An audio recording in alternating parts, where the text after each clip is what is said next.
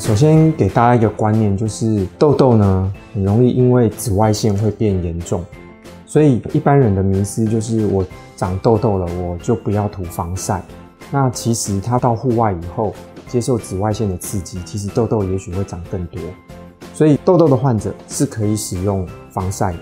那现在要怎么样来挑选产品？其实基本上痘痘分为物理性防晒跟化学性防晒，可以选择啊非致痘型的一种防晒产品。我们在卸这个防晒的时候呢，要第一个要卸干净，不要让这些防啊防晒的产品会阻塞你的毛孔。